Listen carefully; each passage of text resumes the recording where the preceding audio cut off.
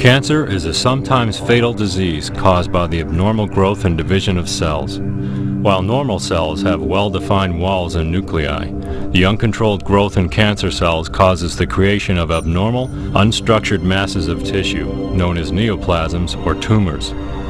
A benign or non-cancerous neoplasm is encapsulated, meaning that it stays in one place.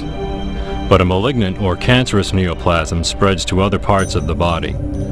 Major advances are being made in the detection, prevention, and treatment of cancer. But the mechanisms that trigger malignant cell growth are still not completely understood.